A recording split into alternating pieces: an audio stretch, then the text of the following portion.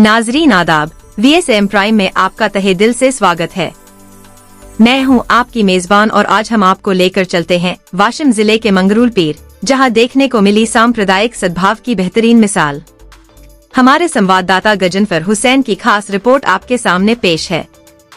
मंगरूल पीर में हर साल की तरह इस बार भी गणेश विसर्जन के पावन मौके पर भाईचारे और एकता का अनूठा नज़ारा देखने को मिला।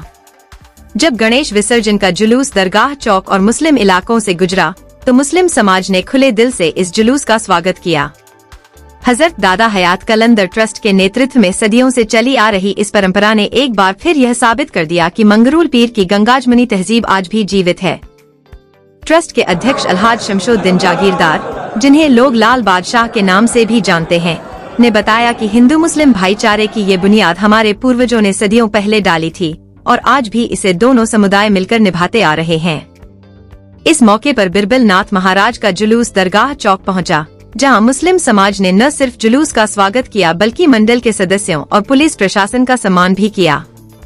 इस जुलूस में सांप्रदायिक सौहार्द का और एक बड़ा उदाहरण तब देखने को मिला जब मस्जिद के पास से गुजरते समय संगीत और ढोलताशे को बंद रखा गया ताकि मस्जिद का पूरा सम्मान हो सके।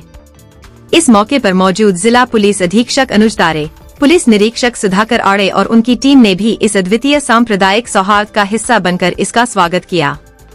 नाजरीन जब देश के कई हिस्सों में सांप्रदायिक तनाव और नफरत की घटनाएँ देखने को मिल रही हैं, वहीं मंगरूल पीर जैसे शहर हमें यह याद दिलाते हैं कि हिंदुस्तान की असली ताकत उसकी एकता और भाईचारे में है।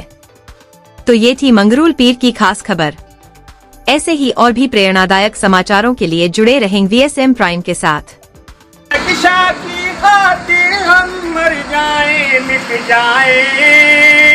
यकजहती अनेकता यकजहती को देख हमारी दुश्मन भी हैरान। हमारा प्यारा हिंदुस्तान प्यारा हिंदुस्तान, हमारा प्यारा हिंदुस्तान, हमारा